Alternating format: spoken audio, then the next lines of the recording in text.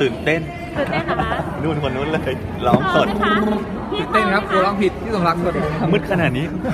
เราจะให้ทายว่าเป็นใครค่ะสบายสบายหนาวไหมหนาวหนาวอันนี้ก็ไม่รู้เป็นใครเหมือนกันค่ะมาได้ยินแต่เสียงนะคะพี่เทียนพร้อมไหมคะแล้วพร้อมครับพี่เ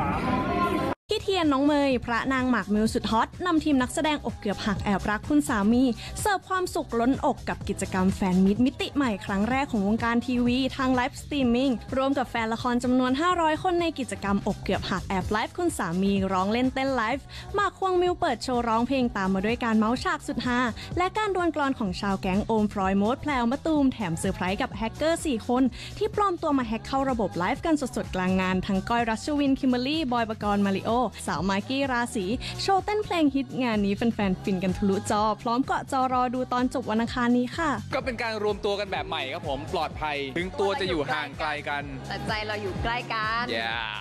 ขอบคุณแฟนๆนะคะ ทั้ง 500 ยูเซอครับร์เลยนะคะ ที่วันนี้มาร่วมแบบเหมือนมิดแอนกรีดกับพวกเรานักแสดงอกเกือบของแอบรักคุณสามีนะคะ ก็ดีใจนึกว่าจะไม่ได้เจอกันแล้วเพราะแบบด้วยสถานการณ์อะไรอย่างเงี้ยแต่ว่าในที่สุด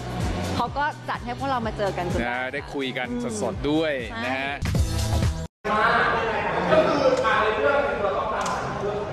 เราหาแฮกเกอร์กันมาเนี่ยเรื่องแล้ววันนี้ก็ต้องตามหาแฮกเกอร์เหมือนกัน